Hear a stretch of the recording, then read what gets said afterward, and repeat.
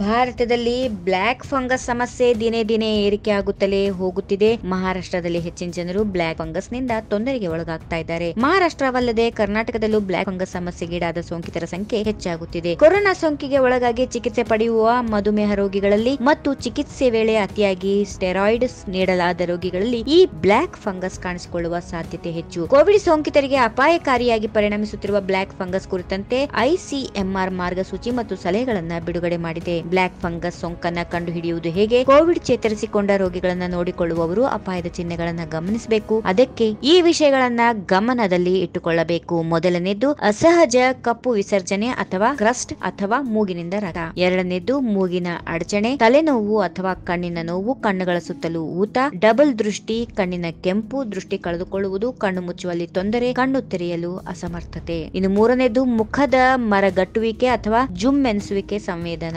ನಾಲ್ಕನೇದು, ಬಾಯಿ ತೆರೆಯುವಲ್ಲಿ ತೊಂದರೆ. ಇನ್ನು ಐದನೇದಾಗಿ, ನಿಯಮಿತವಾಗಿ ಸ್ವಯಂ ಪರೀಕ್ಷೆ. ಮುಖದ ಊತಕ್ಕೆ ವಿಶೇಷವಾಗಿ ಮೂಗು, ಕೆನ್ನೆ, ಕಣ್ಣಿನ ಸುತ್ತ ಅಥವಾ ಕಪ್ಪು ಬಣ್ಣ ಗಟ್ಟಿಯಾಗುವುದು ಮತ್ತು ಸ್ಪರ್ಶದ ನೋವು. ಇನ್ನು ಆರನೇದು, ಹಲ್ಲುಗಳನ್ನ ಸಡಿಲಗೊಳಿಸುವುದು. ಕಪ್ಪು ಪ್ರದೇಶಗಳು ಮತ್ತು ಬಾಯಿ, ಅಂಗುಳ, ಹಲ್ಲು ಅಥವಾ ಮೂಗಿನ ಒಳಗೆ ಊತ. ಟಾರ್ಚ್ ಲೈಟ್ ಬಳಸಿ ಮೌಖಿಕ ಮತ್ತು ಮೂಗಿನ ಪರೀಕ್ಷೆ ಸಾಧ್ಯವಾದಷ್ಟು ನೋಡಬಹುದು. ಏನ್ ಮಾಡಬಹುದು ಅಂದ್ರೆ, ರೋಗಿಯಲ್ಲಿ ಬ್ಲಾಕ್ ಫಂಗಸ್ ಅನ್ನ ಪತ್ತೆ ಹಚ್ಚುವ ಸಂದರ್ಭದಲ್ಲಿ ಏಮ್ಸ್ ಒಂದು ಮಾರ್ಗಸೂಚಿಗಳನ್ನ ಬಿಡುಗಡೆ ಮಾಡಿದೆ. ಆ ಮಾರ್ಗಸೂಚಿಗಳು ಈ ರೀತಿಯಾಗಿವೆ.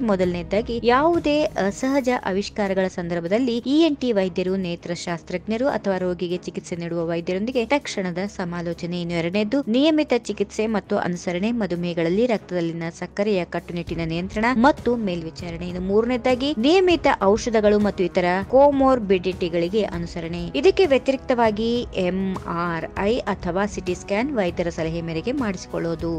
ಈ ವಿಡಿಯೋ ನಿಮಗೆ ಇಷ್ಟವಾದಲ್ಲಿ ಲೈಕ್ ಮಾಡಿ, ಶೇರ್ ಮಾಡಿ, ಸಬ್ಸ್ಕ್ರೈಬ್ ಮಾಡಿ.